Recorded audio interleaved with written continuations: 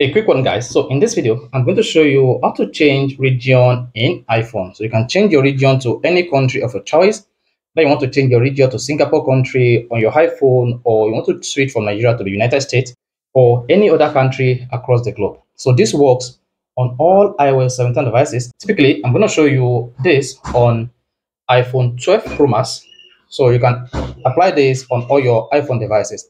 I'll show you two different methods that you can use to change your language region in iPhone. So I'll show you how to change your region via your iPhone settings and you can change this on app. That is through the Apple App Store. So let's get started. So the first thing you want to do is go to your iPhone settings.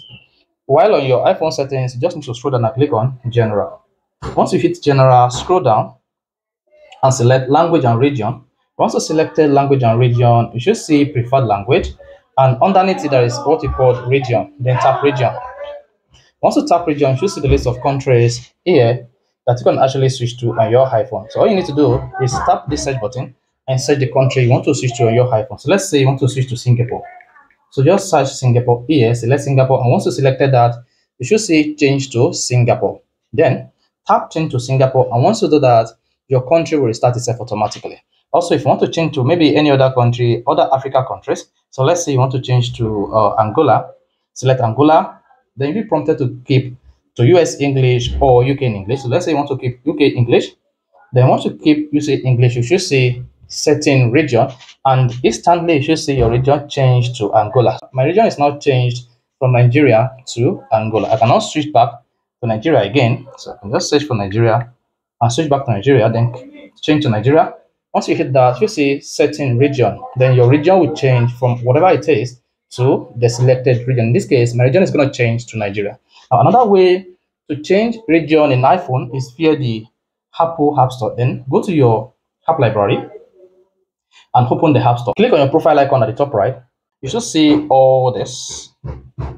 So the next thing you want to do here is you want to click on your name. So hold on, this might take a couple of seconds, depending on the strength of your internet connection. Then unlock your iPhone with your Face ID once that is unlocked, there is option called country and region under account settings. Then click the country and region option. And once that is selected, you'll be taken to where to change your region on app on your iPhone. So this is a typical example on iPhone 12, iPhone 12 Pro and iPhone 12 Pro Max. Now tap change country or region here you just need to select your region from all this list so as a nigerian my country is nigeria. If you want to switch to singapore you need to do is scroll down to singapore. Let me scroll down to singapore and show that you can actually change your region to singapore.